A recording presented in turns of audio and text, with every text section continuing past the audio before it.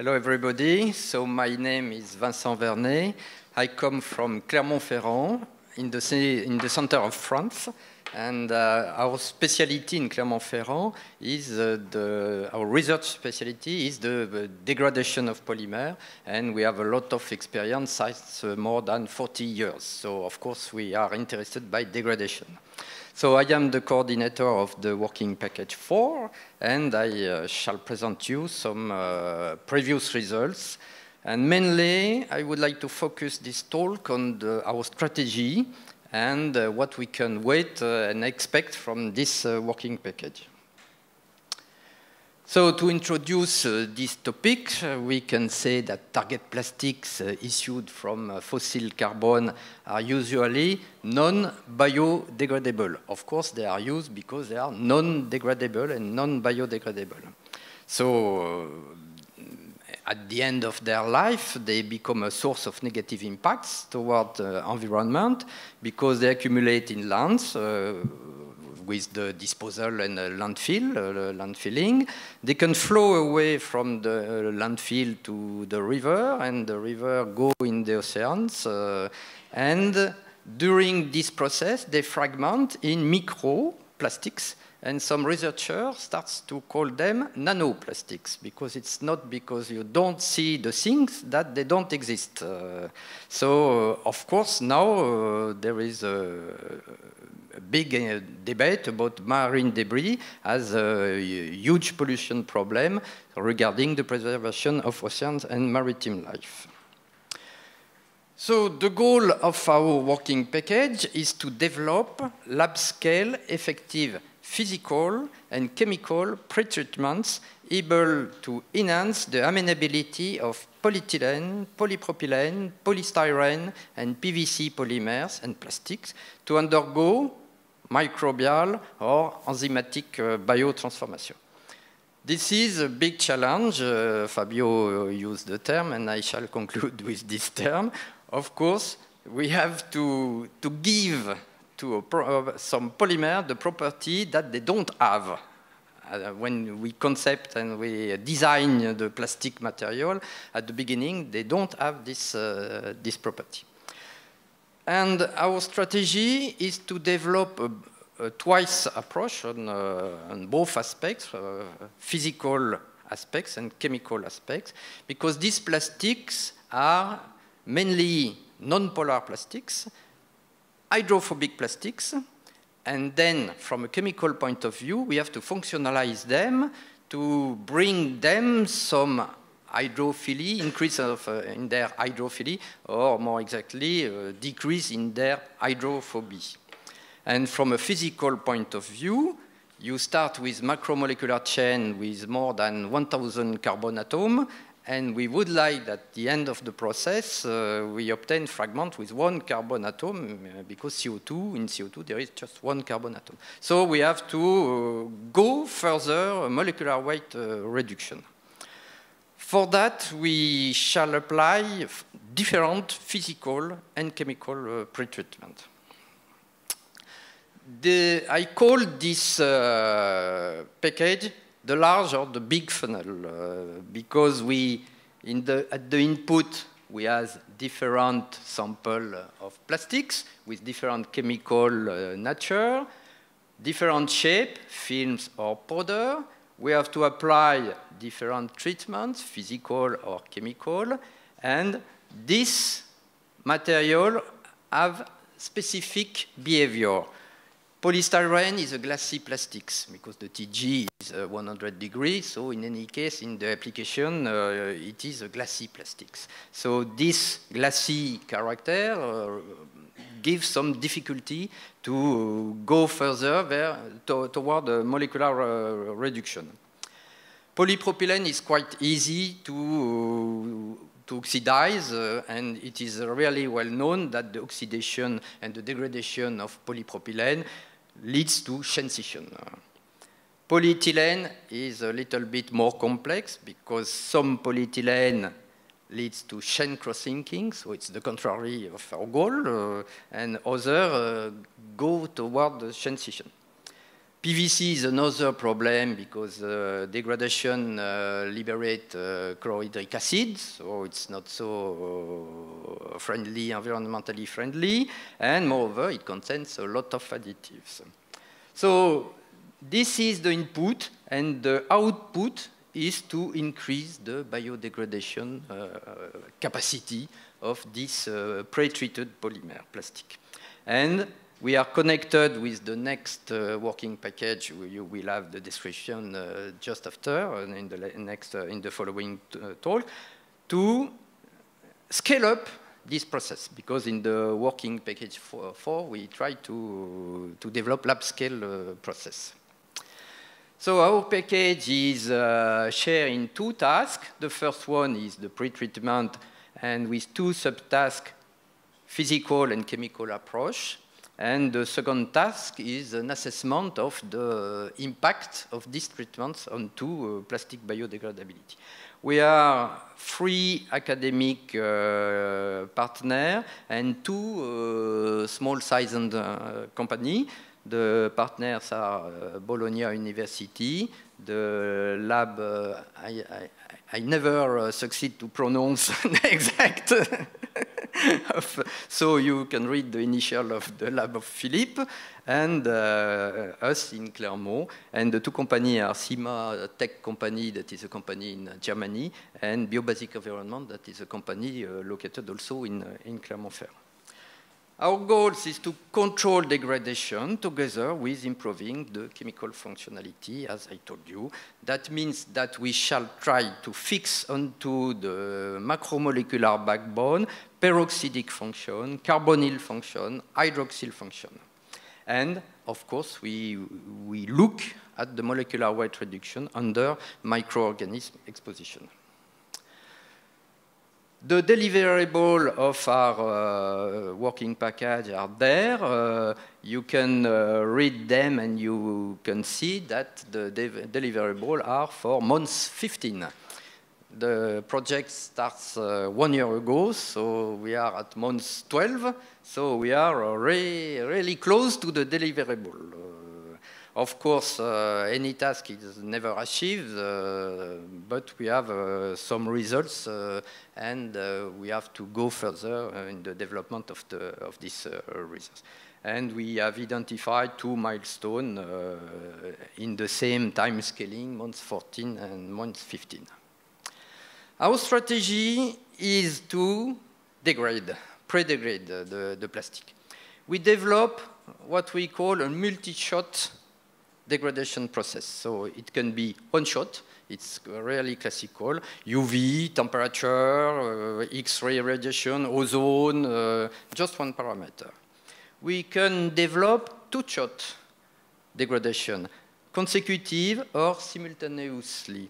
Consecutive, that means that we first irradiate, for instance, with X-ray or gamma ray, and then with a thermal treatment or with X-ray or gamma ray and then UV degradation or UV degradation and then in a second step temperature treatment, thermal degradation. Or we can also develop two simultaneous shots and uh, it can be UV and temperature combined or solid state uh, behavior and ozone or oxidation in a fluid bed, uh, in some fluid bed reactor. I shall present you some, uh, some results, or degradation in the rubbery or in the molten states. And we work on films and on power. So for instance, you have there a lab-scale fluid bed reactor that is able to be irradiate with a UV lamp and we are developing some uh, LED UV irradiation at different temperature because this reactor is inside a thermal oven. So we can combine UV intensity and thermal treatment onto some powder. Uh, and the advantage of the fluid bed technology is that you have a really homogeneous process from any point of view, from the thermal stability, from the contact time of, uh, between the gas and the solid particle. So it's a really uh, nice process. We can build a classification of the oxidability through uh, micro-FT uh, infrared uh, determination. And of course, we, we found the classical uh, scheme. Polypropylene is more degradable than high-density polyethylene, than low-density polyethylene, than polystyrene. Another technique that is developed in the lab of uh, Philippe is a fluid bed reactor in a fluid reactor, sorry, with an ozone uh, treatment, uh, in situ ozone treatment. The plastics film are put in, uh, in that tube and uh, you can vary the time with different uh, concentration of ozone, so you can vary also all the parameters. So this allows to treat some quantity between uh, 5 and 10 grams. In the previous reactor I show you, we have two uh, pilot uh, reactor in the lab. The first one uh, is able to treat about 10 grams, and we have a bigger one that can treat uh, 50 grams uh, approximately.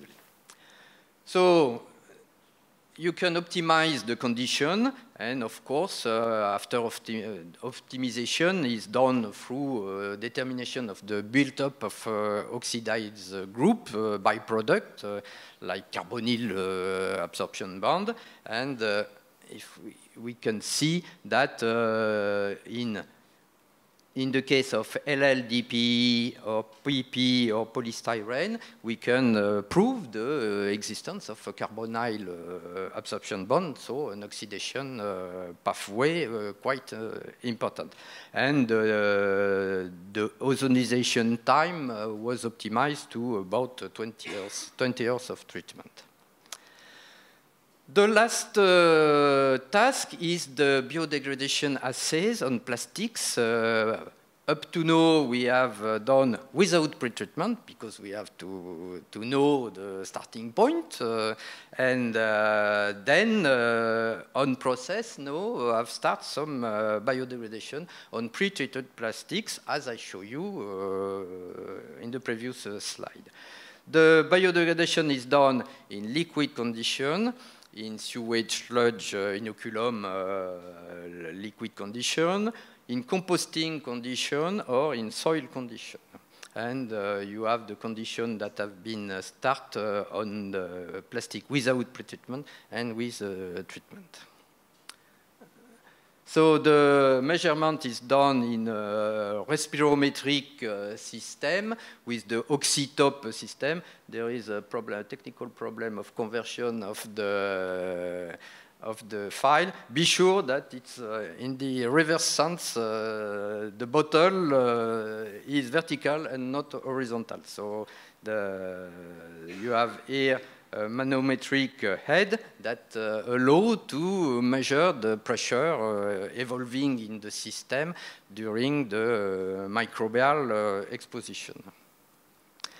This is to illustrate the wide and large pathway of this uh, working package.